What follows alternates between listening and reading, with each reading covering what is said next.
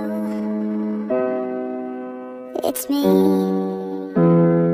I was wondering if after all these years you'd like to me to go over everything.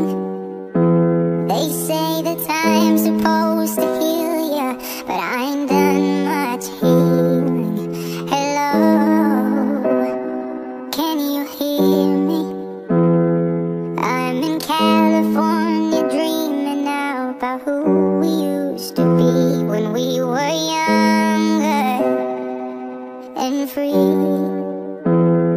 I've forgotten how it felt before the world fell